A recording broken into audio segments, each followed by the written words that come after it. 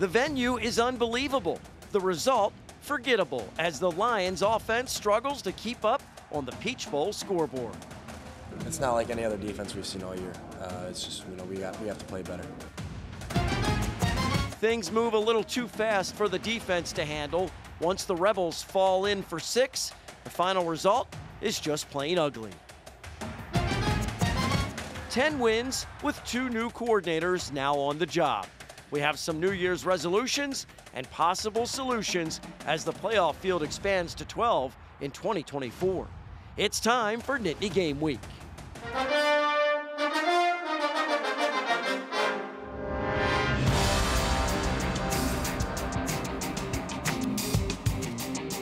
Hello, everyone, and welcome to Nittany Game Week. I'm Todd Sadowski alongside former Nittany Lions coaches Jay Paterno and Tom Bradley. Happy New Year, everyone.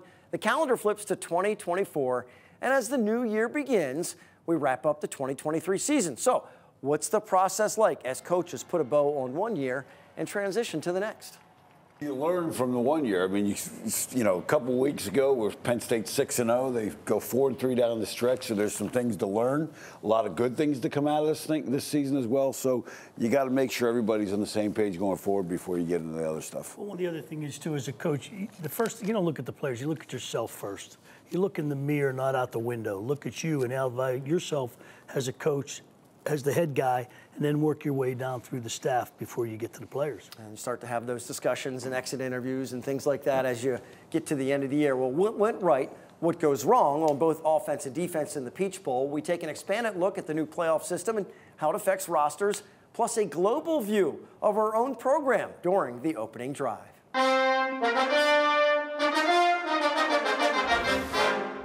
Well, let's start on the offensive side of the ball and first recognizing these indoor domes are impressive buildings. The 360 video screen at Mercedes-Benz Stadium in Atlanta, very cool. And a promising start as they rip off some big chunk plays through the middle with Nick Singleton. The theme remains inconsistency, though, against a higher ranked opponent. Way too many incompletions. The end result is they can't keep pace on the scoreboard.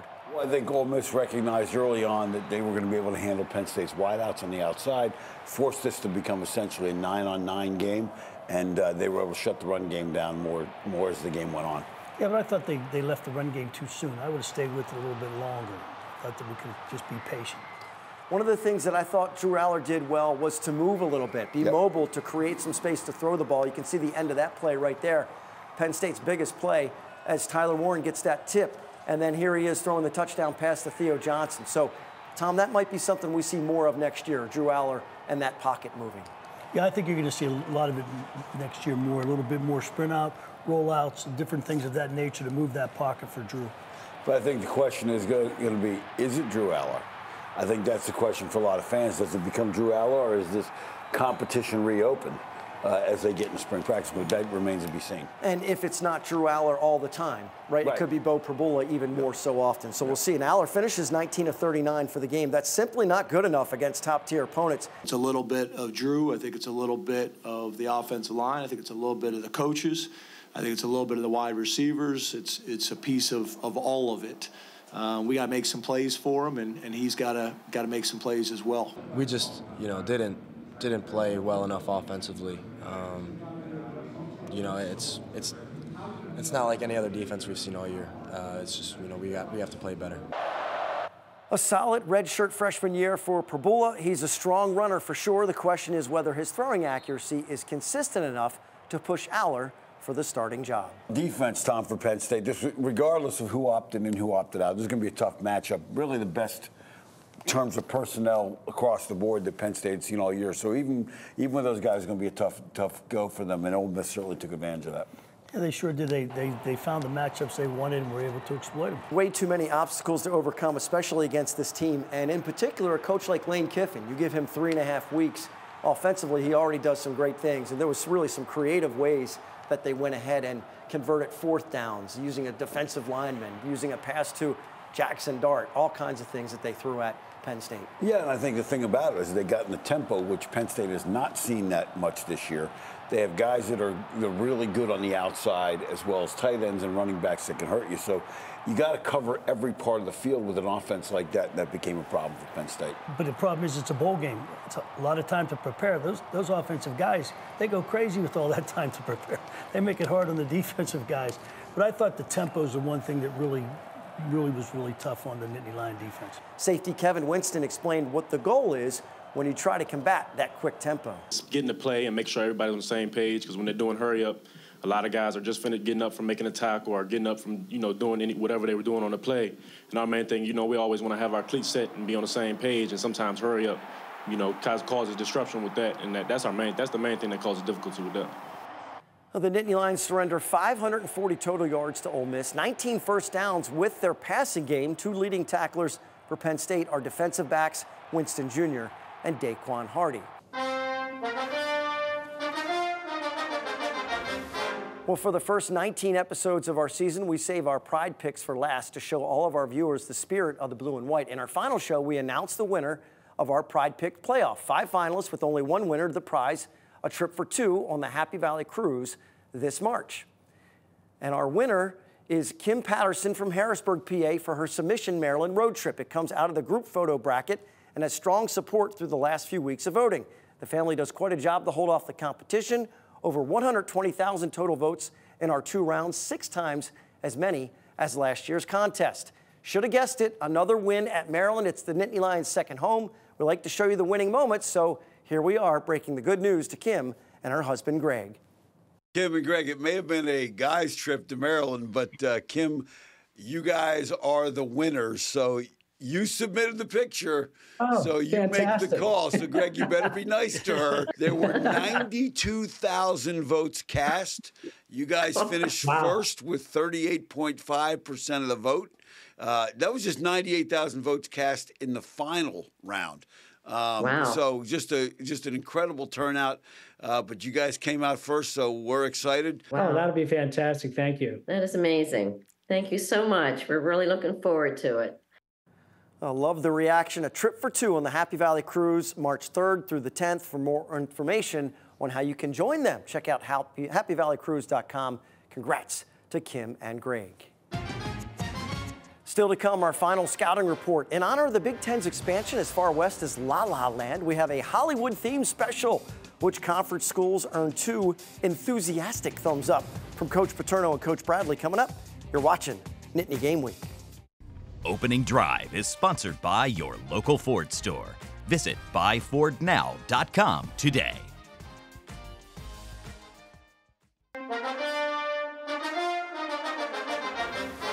Welcome back. It is 2024, and you know what that means? The Big Ten goes Hollywood expansion all the way out to La La Land, Westward Ho for the traditional Midwest schools. In honor of the now coast to coast reach of the B1G, Coach Paterno and Coach Bradley have a special cinematic scouting report. That's right, Todd. The Big Ten is going Hollywood in 2024, and we're going to get you ready for it. I'm not going to keep that voice up the whole time. So let's talk about the latest Big Ten films we just saw in the bowl games.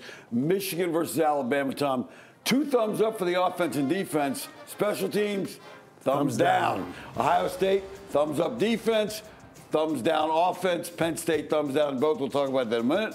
Rutgers with a good win. Northwestern with a really good win. Maryland with a good win. Iowa, I don't even think their offense got off the bus. Wisconsin, great start, terrible finish. Minnesota, seventh straight bowl win, like almost like an indie film. They're really good. They keep winning these smaller bowls. But let's talk about Penn State. Let's review their film. Ole Miss, early in the game, Penn State got to them.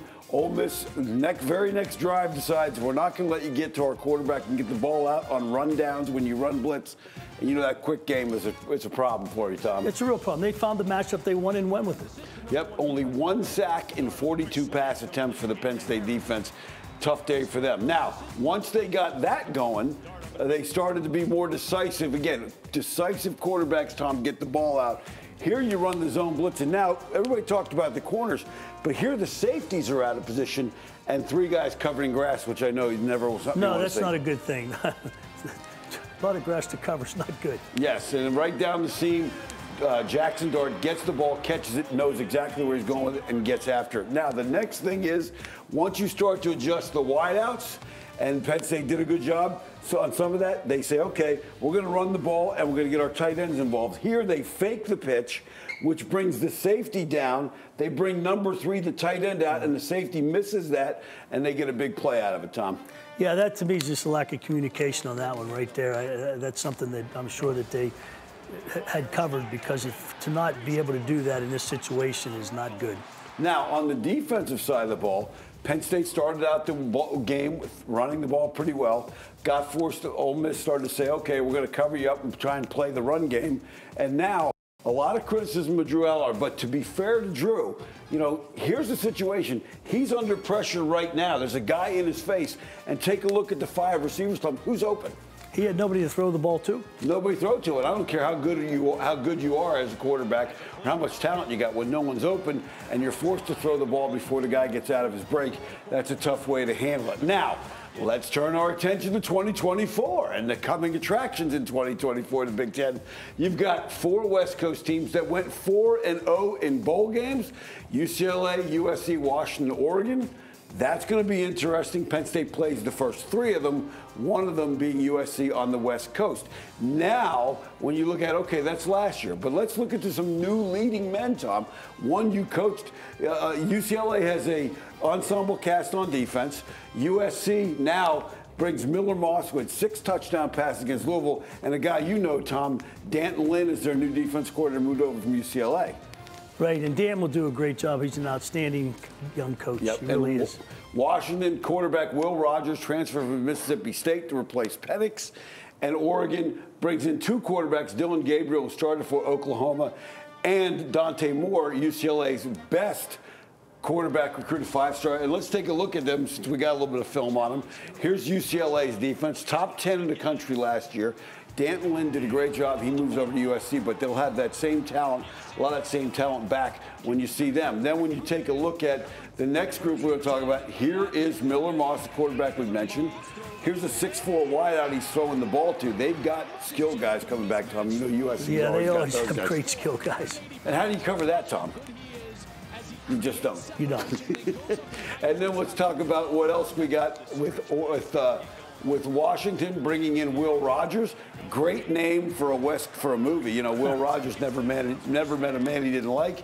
He's coming in to take over Washington, who will come to Beaver Stadium next year.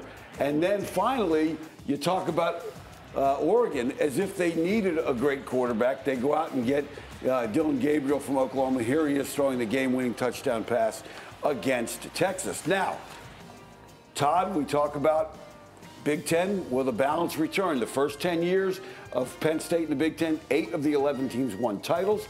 The last 10 years, only four of 14. Ohio State and Michigan have won the last seven and eight of the last 10. So we'll see if we get some change now with new teams coming in. I would. I think you're going to see some changes because there's going to be a lot of things we talked about, a lot of the travel, pro, a lot of different things going on here. So a lot of good new leading men and a guy who's always been a great leading man for us. Back over to you, Todd Sadowski. Appreciate that, guys. I'm usually stuck with just rotten tomatoes. It is all about the box office draw. We know the scouting report gets people in front of the screen. We thought it would be interesting to see which college games attract the most viewers from the 2023 regular season. Here are the numbers. The game, Michigan versus Ohio State, no surprise at the top with 19.07 million. Then it's Alabama versus Georgia in the SEC championship. And there's Penn State, Ohio State. Now, time for a short break. When we come back, our impact interview is about the process in which guys like Curtis Jacobs will be evaluated for the next level. A former college and NFL assistant, Jed Hughes, is now a global leader in consulting, and he'll go into detail about the NFL evaluation process next on Nittany Game Week. Impact Interview is sponsored by the Pocono Mountains, where small town charm meets big adventures. Book your trip today by visiting PoconoMountains.com. Well, welcome back to Nittany Game Week. Our interview today is with Jed Hughes, Vice Chairman of Global Sector Leader in Sport at Korn Ferry. But before becoming a global leader, listen to this coaching career. Made stops with Michigan, UCLA, Stanford, the Pittsburgh Steelers, and the Minnesota Vikings, all stops that involved coaching for Hall of Fame coaches. And I like this part here, Jed. While doing all that, you found time to get a master's degree from Stanford and a PhD from Michigan. Thanks so much for joining us on the program. We're anxious to talk to you. My pleasure, and Happy New Year to you and your guests. Yes, thank you, and Happy New Year to you as well. So, look, let's start with one of the more fascinating aspects of what you've done, and that's helping teams develop the assessments to evaluate players. And of course, everybody's interested in the combine and the strength and the speed. But talk about the importance of the off the field interviews for the players and the evaluation process for the NFL teams. Well, I think, first of all, you know, the teams spend an inordinate amount of time on evaluating the player. It's the most efficient professional evaluation of athletes uh, in any sport. And uh, the mental part of it is probably the least uh, utilized because the interviews are short. They're 15 minutes, the horn buzzes, and you go to the next interview. And if you really want to interview somebody, you got to get them at a different time or you got to bring them into your organization. So, uh, doing assessments, when we work with the Green Bay Packers, Ron Wolf is the GM, and we came up with three attributes someone that was um, uh, had an exceptional work ethic, that was passionate about football and could make a difference. And we would use an assessment tool to evaluate each player, uh, and then we compare those evaluations. And what we determined was someone that was really high on sociability and low on conscious restraint. Sociability meaning somebody that really liked to, like to show themselves off, and conscious restraint, low side meaning somebody who didn't think through the consequences of their behavior. That would raise a red flag. And you'd want to do make sure you did your homework in terms of references, people you talk to uh, on the campus uh, around about the athletes. And again, it varies. If you're a high round draft pick, uh, the incremental value versus aggravation factor is a little bit different than if you're a mid round, low round, or a free agent.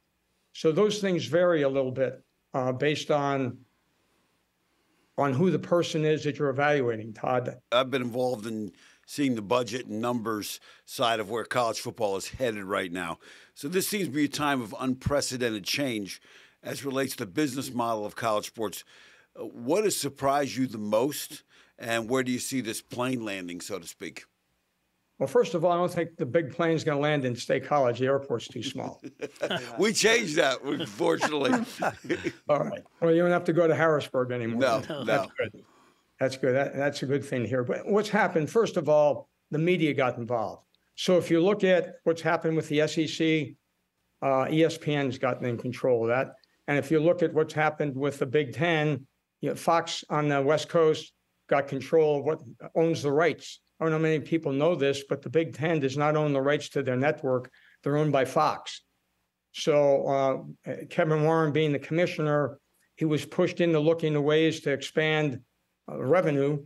And with the media deals um, not set to expire until 35, he went back out and pushed the edge of the envelope and was able to get uh, deals done with CBS and NBC. So uh, you ask that question so the amount of money that's coming to schools is unprecedented. Big Ten, 75 million, 80 million dollars a year they're going to be getting starting next year, and their national exposure. Uh, they're like professional football. They're on in the afternoon, noontime, 3:30, and at night. And then you've got coaches' salaries, and then you've got NIL. So you talk about the business model. That's happened because the NCAA has lost control. You know, I mean, there's nobody really running the ship. And what's going to end up happening, in my opinion, is going to be two mega conferences.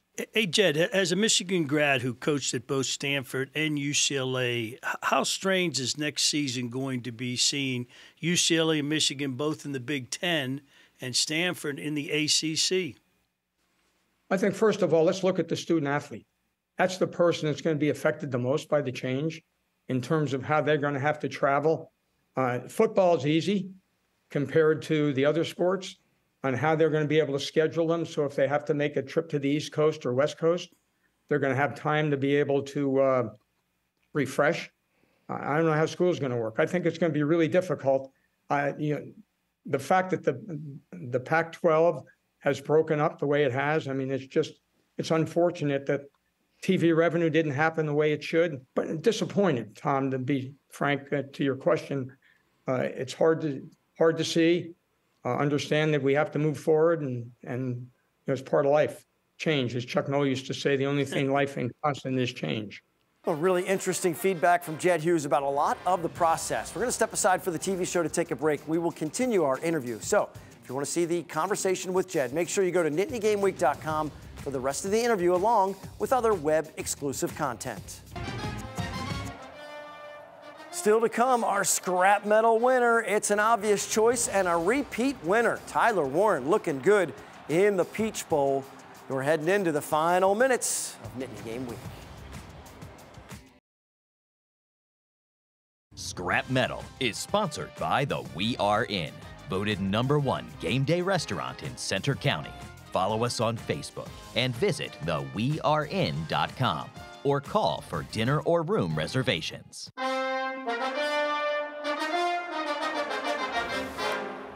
A time for the final scrap metal winner of the season. This pick is obvious. He's really starting to shine in this offense. And the good news, Tom, is that he's coming back for another season. He's coming back, and he's the winner of probably one of the most prestigious awards in all of college football, second probably to the Heisman. But he did have five catches, 127 yards, and he's coming back.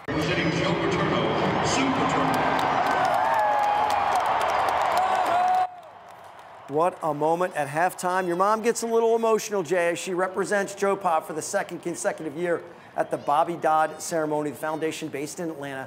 They extend the invite. Very cool to see her there and receive a huge ovation from the Nittany Lions fans. She was emotional because she knew she had to come back to her family. Yeah, couldn't stay in Atlanta no, longer. couldn't stay away from us anymore. Yeah, no, really cool thing that they did, and it's uh, it's the second year they've done it, and it's uh, it's just good to see people honor the history of, of, of college football, all those guys. Our depth chart stays active online. We're connecting businesses that support the show with our viewers. Our goal is to build a team that keeps our hometown strong and give you a Penn State guide of places to visit when you travel, eat, and shop. The depth chart is only one of our features at NittanyGameWeek.com. You can revisit any episode of our first three seasons, watch our impact interviews, and check out all of the Pride picks. Make sure to check out NittanyGameWeek.com for our web exclusive content. And so it comes down to the final seconds of our season. What a fun time again. I appreciate you guys bringing your best every week. It's a pleasure to do the program with you each. A lot of energy, a lot of fun. We talk, we'll love to talk about the wins. Sometimes you just got to break down the losses, but you know, appreciate you guys making all the effort to be here. Oh, it's great. A lot of fun, and looking forward to next year, Can't wait. 2024. Three seasons, 60 episodes already in the books. For Jay and Tom, I'm Todd. We finished with a few pictures from the past season. Thanks so much for watching Nittany Game Week. Happy New Year, everyone.